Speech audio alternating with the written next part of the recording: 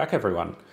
Um, next up, uh, we have Muhammad Falak talking about uh, eBPF 101. Uh, Muhammad Falak is a software engineer who is interested in how the eBPF subsystem uh, can be leveraged in novel ways to enable new use cases.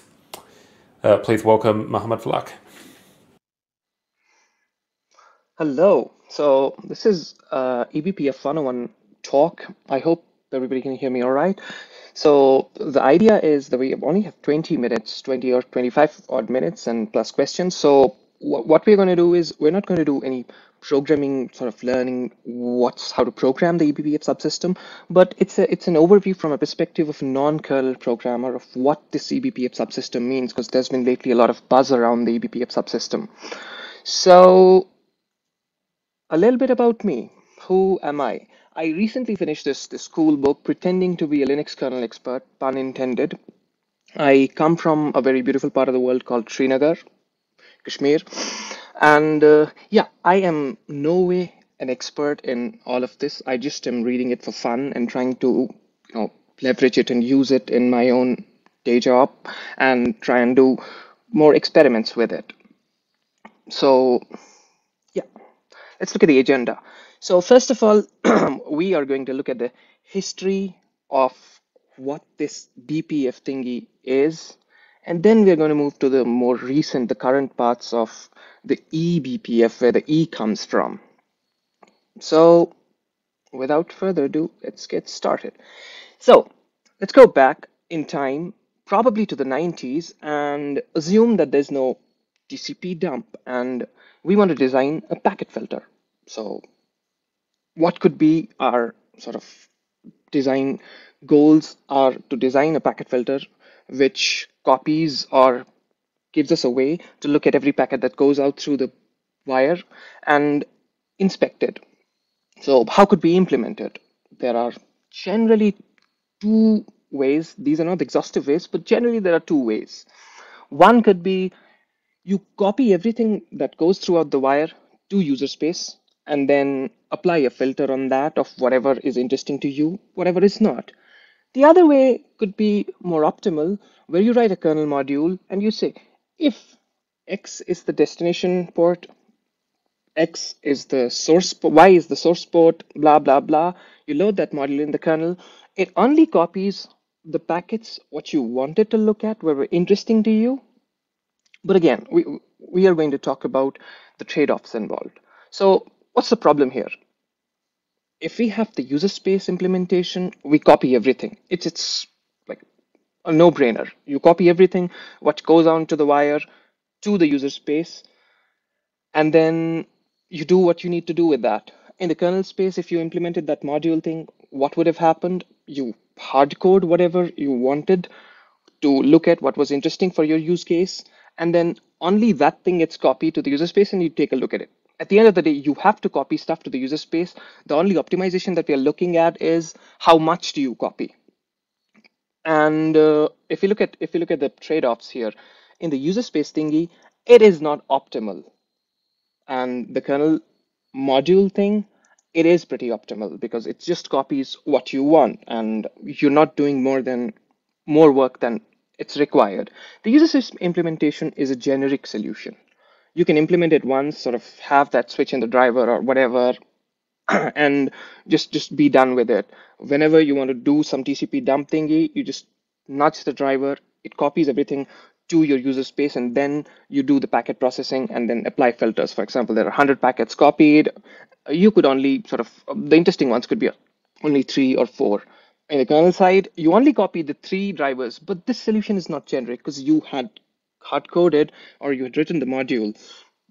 And uh, it only would apply for that destination and that that that that, that destination port and that that whatever protocol you were looking at. There's one more interesting case here is the user space solution is a little safer. When we say safe i mean if there's a bug in your code what worse could go i mean what could go wrong you basically could have a seg fault in the user space. That's not too bad, uh, but nothing is going to go too bad. But if the kernel module had a bug, the whole system is going down. Probably. I mean, the sanity of the system is in question. So wh what would be the right way to do things here? Yeah, I mean, what if we had best of the bo both of the worlds? Like we had like a generic solution and an optimal performance. So what would that kind of a design be? I mean, how, how would you how would you do it? So in 1992, the BSD packet filter, this paper, it's a seminal paper that was published where the folks designed a novel architecture to do exactly the same thing of, of how do we implement TCP dump and do it optimally. So they had they had an in, in, interesting design choice. What they did is they implemented a VM, a simple VM which resides in the kernel, and it just could not do much. It just does a bunch of loads, a bunch of stores, a little bit of jumping jumping around, very basic arithmetic operations, returns, and it had like an accumulator register and one more like X register, so you could do transfer one instruction I mean, data from the accumulator to the X register, or maybe from the X register to the accumulator register. Nothing fancy at all. So you have basically a, a VM that resides in the kernel, and you you operate that, and you do something with that, which we'll come to shortly. So, okay, now you you've, what you've done is you've created a VM, you've dumped it inside the kernel, but how do you run a BPF program? Okay, let's take a digression first. I mean, how do user space programs work? You could have a compiled program or you could have an interpreted program. For compiled programs, you write the piece of code, then you give it to the compiler, plus the linker, you get a binary out of it, and then you go ahead and you run the binary. And everything sort of, you get the output. You wanted to write a hello world program, you write the source code, compile plus link it, and do an a dot out dot slash a dot out whatever and it, it just prints it on the screen. You as a programmer or whoever wants to use the program has the control on when the program runs. In the interpreted case similar thing. You write the code you hand it over to the interpreter it jits out the instructions and then executes them. But how do you do it in the BPF side? Because the BPF VM is inside the kernel. I mean, you don't have control over the kernel. You can't willy-nilly just go and run whatever you want in the kernel. The only interfaces you have with the kernel is the syscall or maybe some interrupts, but generally it's just the syscall. So do you have a direct way of nudging the kernel to run a program? Probably, I mean, would that make sense? We'll, we'll look at it. So how does a BPF program run? BPF programs, it's very important to note that BPF programs, unlike the normal programs, are not dependent upon the programmer or whoever wants to use them. They do not run on his wish. They are mostly event driven. So there are a bunch of events in the kernel that are placed or a bunch of hook points in the kernel. And whenever you write a EBF, eBPF program or a BPF program, you write that in the instruction set, that, that, that simple instruction set, you target for that VM, you load the kernel via, you load the program via a syscall into the kernel, it still will not run because you just have loaded the program. Then you attach it to a particular hook point. So let's let's actually look at it. The BPF programs are stateless. That's an interesting point to note that these programs are very simple. They run to co completion and you load them to the kernel. You, you, you first of all write the filter expression. The filter expression is pretty simple. It's, it's like here, we are going to go through this in a short while, but you write like eventual answer should be true or false. You load the bytecode in the kernel. You attach the loaded program to a hook. A hook could be, for example, every received packet is a hook. Whenever kernel receives a packet, run this BPF program. And the programs are event driven and they run to completion. There's no sort of preemption or anything that happens with it. A eBPF event occurs, the BPF program runs to completion, and at the end it tells you yes or no. I mean, and that Boolean instruction, uh, that Boolean return value can be used to do very interesting sort of things. So let's, let's take a small example of a very, very simple BPF program that, that, that, that comes via the paper. I've just copied it from the paper. And this, this program here is basically a program that just filters out IP packets and which go to a particular destination port. So if you see, I'm doing a load half word of the 12th offset in the packet. So every packet, when it comes, it has a particular, like the standard, it has a particular format. And what you go is you start with the packet starting and then go to the 12th offset and see, is it Ethernet protocol?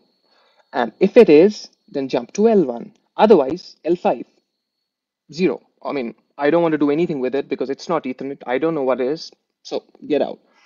Then you do a load byte on the 23rd offset of the whatever packet you had, and then see if it's TCP.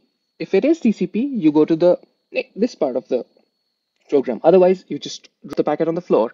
And then you keep on munging a bunch of these small, small instructions that you do with it. So here, for example, the interesting one is you load if if this is an IP packet, like the IP header, the length of the IP header here, this this part is the length of the IP header. I mean, it's not too interesting of how exactly this happens, but it's it's just as a notion here that these are very simple instructions that you can do on a packet receive, and then you know you return true or false. And depending on that result, you could have that if it's true, I'm going to copy it to user space. If it's not, I'm not going to copy it to user space.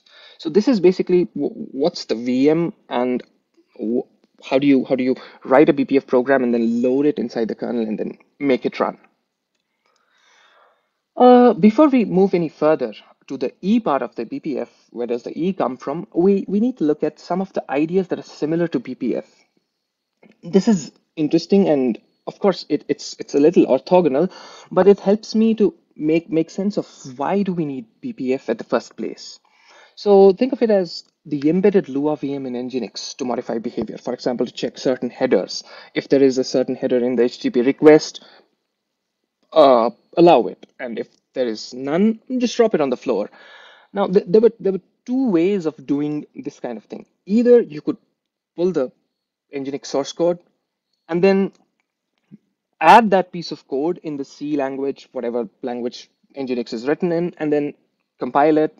And whenever you have to do anything, you have to modify that rule, you always have to recompile, change and recompile. Uh, I, I, I think that's a little unwieldy if you want to do these kind of things. And having a Lua VM embedded inside the Nginx module, it helps you a lot. Maybe uh, NeoVim. I I don't think if I want to extend the functionality of my editor, I would want to pull the source code in, add that bunch of functionality inside the source code. I would rather write a Lua plugin and then load it in the so so these are these are some of the things where it tells us that it's probably easier to use the VM based approach where you don't have to recompile all the program and start from zero and uh, it's it's working out great. I mean, I haven't forgotten about Emacs, folks.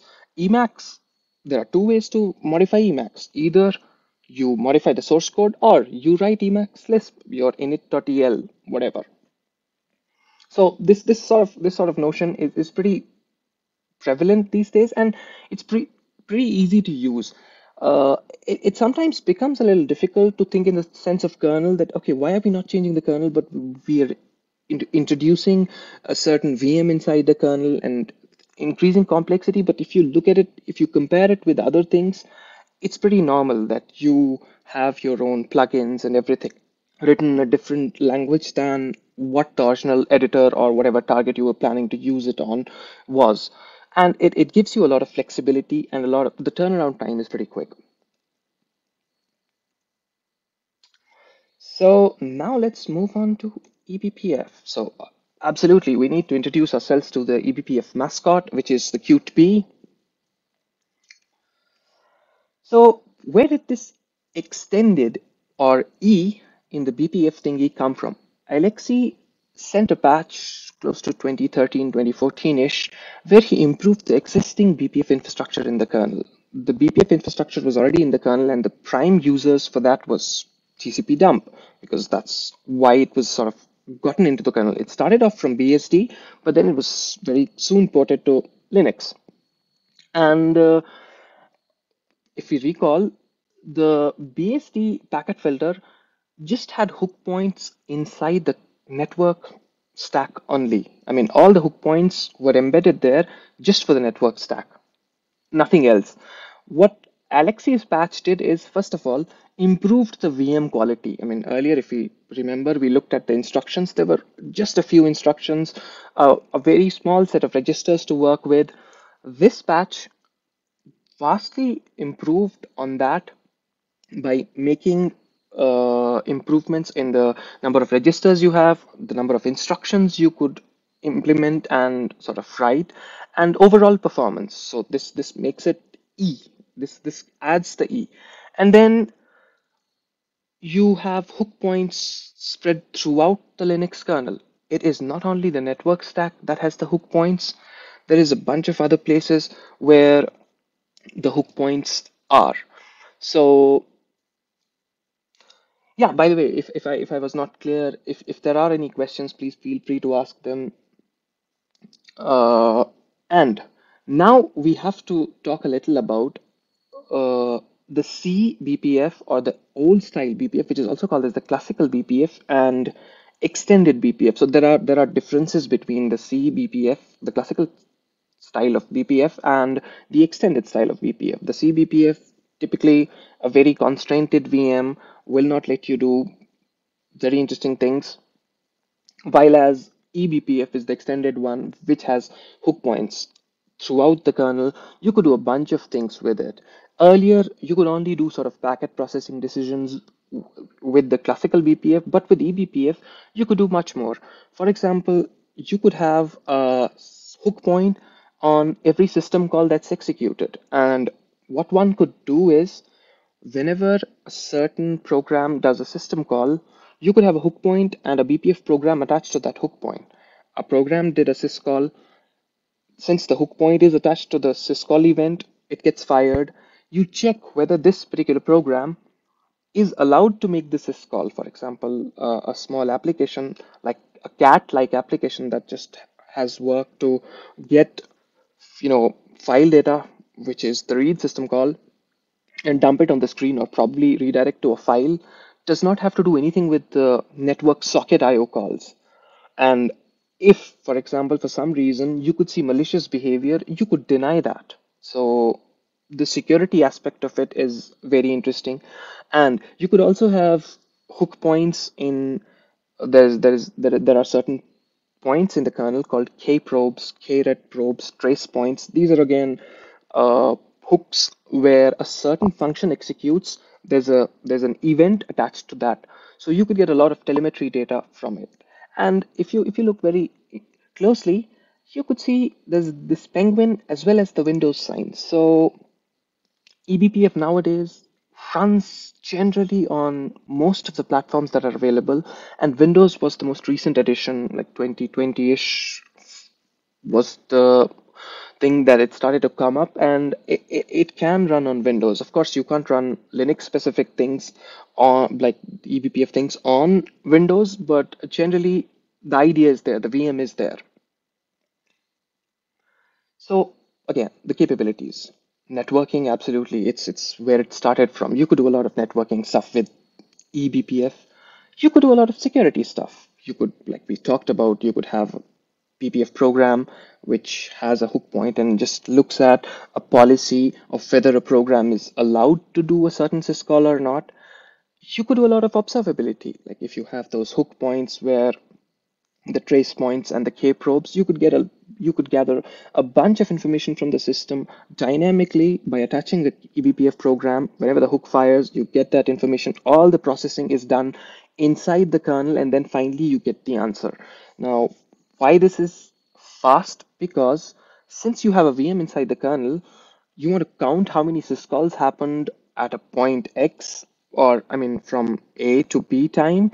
What you could do is you could write that code and then have internally the eBPF program gather all the details, do all the number crunching, and then finally, when you're done, it just spits out the answer back to the user space. Uh, copying data from across the user space and kernel space boundaries is costly. So we want to do it as little as possible and want to keep the number crunching as local to where the data actually is, and we just only want to look at the data. So an interesting thing of the eBPF verifier and JIT is you can't really willy-nilly run any program inside the eBPF VM or the Linux kernel. I mean, when we talk about arbitrary program, we talk about like we do that that very restricted set of instructions that was given that the eBPF VM runs. But you really cannot do anything because the eBPF program runs to completion. Now, what if a malicious user put an infinite loop in that? Whenever an event fires, this eBPF program is going to go and then just infinitely loop. And since the program runs to completion, you basically just starved the CPU. You did a denial of service because now there's no way for the system to yield the, the program. It just runs in the eBPF. So BPF verifier looks at whenever you load the eBPF program that you've written inside the kernel via the BPF system call, it first of all goes to the verifier. The verifier looks at all possible branches and whatever you have done in your code and first of all verifies the sanity of the program. If the program according to the eBPF verifier is sane, then only it gets handed over to the JIT compiler, which then emits out native instructions for whatever architecture you're running on, and then it moves along and does whatever it needs to do. Then you properly attach it to a particular hook point because just loading the program in the kernel is not going to do anything. When you load a program in the kernel, you have to attach it to a certain point and uh, then you do whatever you want to do with it. So let me look at the questions. Since BPF verifier evolves, can we expect that a BPF program written today for 5.16 will work in a few years? Okay. So I think if, if we uh, if we if we if we look at the if we if we look at the architecture of the BPF VM, it's generally very simple. So if by what you mean is if you've written a program today and you have used trace points and you have not you have not relied yourself on API in the kernel that changes. For example, uh, we talked about k probes and trace points. Unfortunately, I do not have enough time to talk about what those are, but trace points have a guarantee of being more rigid, like system calls. They, they're not going to, they're, they're going to survive multiple kernel versions, but kprobes don't give you that because that's the internal kernel functions. And whenever the name of the function changes, the kprobe changes. So if you, if you, you use or leverage those kind of techniques where you use k trace points instead of k probes, probably yeah, the eBPF program should survive multiple kernel revisions.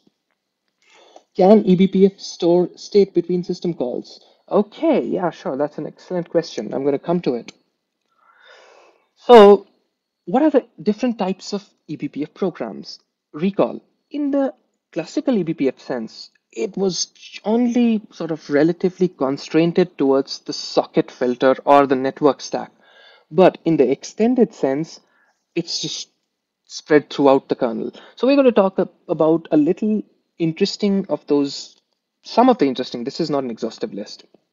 So this BPF prog type sock filter, what is this? This is basically a packet filter. The thing that the original BPF VM started with. You apply a filter at a particular socket that, okay, if this is this destination port, this source address, this source port, blah, blah, blah, do something. There's another one called XDP, the BPF prog type XDP. This is an interesting one. I'm sorry. This is an interesting one because XDP is express data path, and this is a BPF program which is attached at a hook point which is as close to the device driver as possible. Now we have to talk a little about it, so I'm going to give one minute to it. So what happens here is whenever the packet comes to your NIC card, it first of all gets stored on your NIC's memory. And then from the NIC, and NIC network interface card, and from the network interface card, it gets DMA'd inside the Linux kernel main memory, and then you raise a soft IRQ, an interrupt, and then you you tell the Linux kernel that, hey, I got a packet for you. Start processing it, you know, take it into your levels of bureaucracy of the network stack, where you first of all, you know, plug the L2 header, then the L3 header, and then you keep on moving it up the stack, and finally you do all sorts of, you know, net net filter, that kind of table manipulations. And if all is green, you give it to if it's for destined to your process or if it was destined for some routing. This XDP is interesting because the moment a packet arrives on your NIC card and it's DMA'd, you raise a soft IRQ request with the NAPI interface, like the internal network stack, you have a capability to run a program. Now, at that point in time, your packet is just a buffer. It's not even an SK buff yet. It's just a buffer. You can do all sorts of crazy things there. You could redirect a program. You could drop it on the floor and you'd say, I mean, I could do that with IP tables. Why do I need to do something there? Well, if you do that with IP tables, it happens much higher up the lane. I mean, it happens like after you've done the L2 and the L3 things.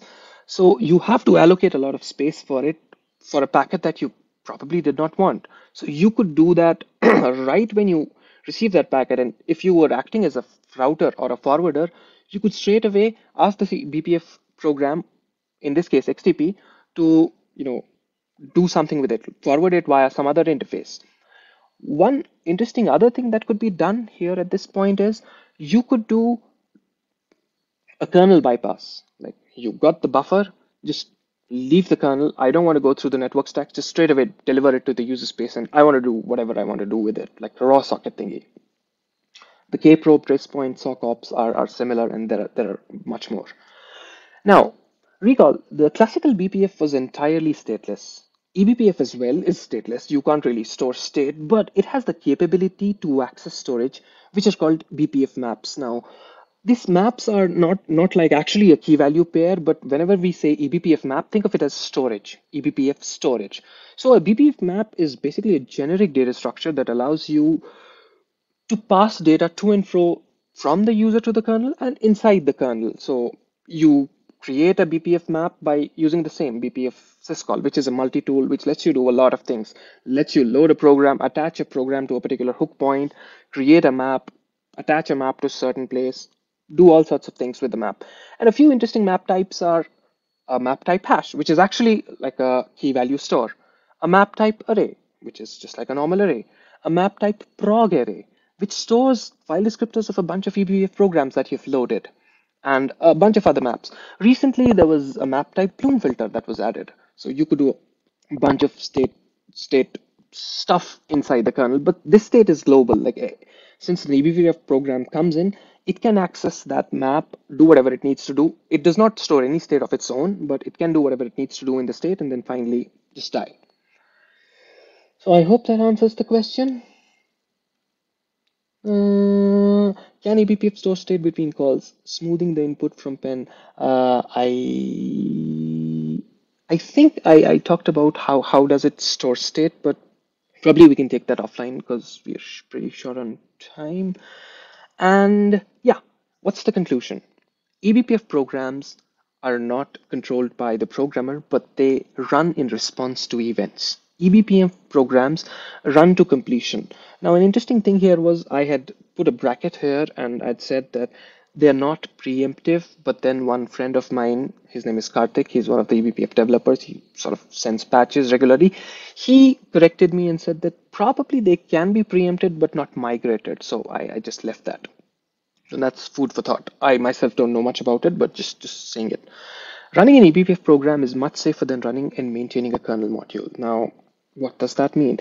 if somebody gave me a kernel module and said that, yeah, this does an amazing, solves an amazing problem, can you run it in your production environment?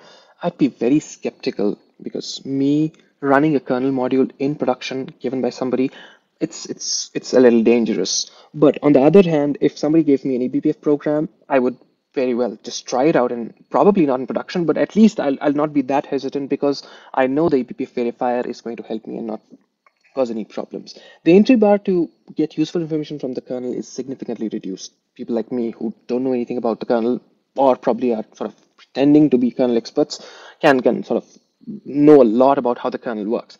And the overhead is just pay as you go, zero cost abstraction style. I mean, if you're using it, that's the only time you pay for it. it's it's minimal, but still you have to pay for it, and uh, the BPF VM is already there.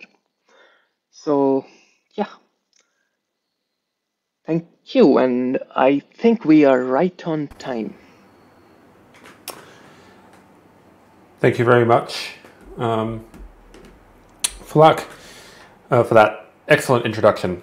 Um, unfortunately, we are at the end of the time slot, so we don't have time for more questions. Uh, if you do have more questions, feel free to uh, contact Falak offline um, outside of the session, and I'm sure he'll be more than happy to keep talking uh, about eBPF. Um,